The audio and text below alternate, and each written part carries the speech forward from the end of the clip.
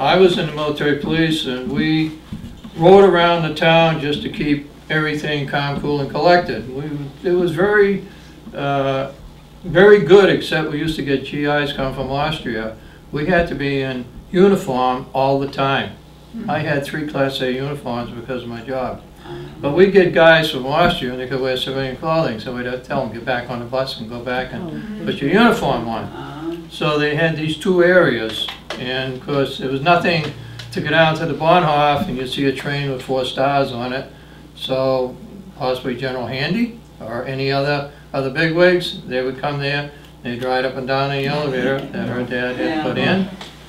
Oh, I Uh, gotta tell you one, okay. just, uh, while I think of it. Yeah. That is up there, okay, this was, I'm living already in, in the United States for several years. And Chief Justice Earl Earl Warren Warren. came up. Oh, Okay, really? yes. Wow.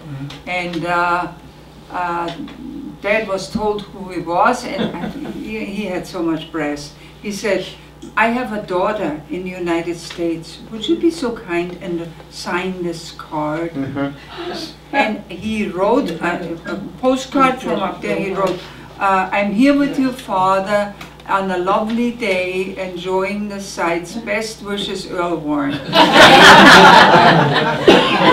Another thing we couldn't figure, uh, because of the, in- because of the installation of the fogging equipment that they supposedly had We on had the Ober fogging Salisbury to during fog the area you know. in, in case of a bombing raid. Oh.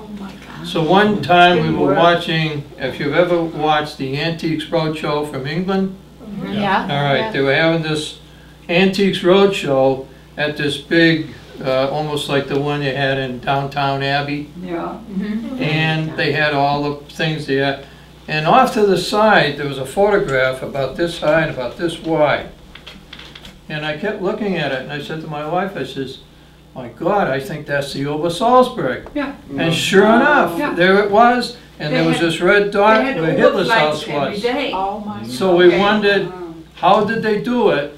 And in a previous program, they showed the RAF, they would take these planes, take all the guns out, put in the photographic equipment, and they'd fly over Germany.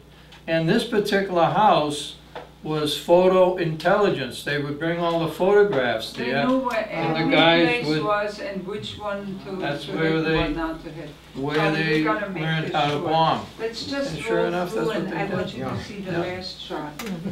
Yeah. That's my favorite That's picture. And that's done by machines? That's that box? This, no, this is the clouds. That's- That's the thing that fascinated me the most. Was Down when there is Down Bertha's there. I gone said and it's raining. I said to my mother and my dad, I says, we're looking, it almost looked like we were looking down at the ocean, Yes, but yet Yes. we're at the tea house. Yes. and We're We're looking at the looking clouds. at the it is clouds, fabulous. which are below us. Yeah. It was Wow. Yeah. like being in a plane. Yeah, I It was love so this weird. show. I love Yeah. this picture. Well, Beautiful. any more questions? I bored you to death. Oh, Thank you very much. Yes.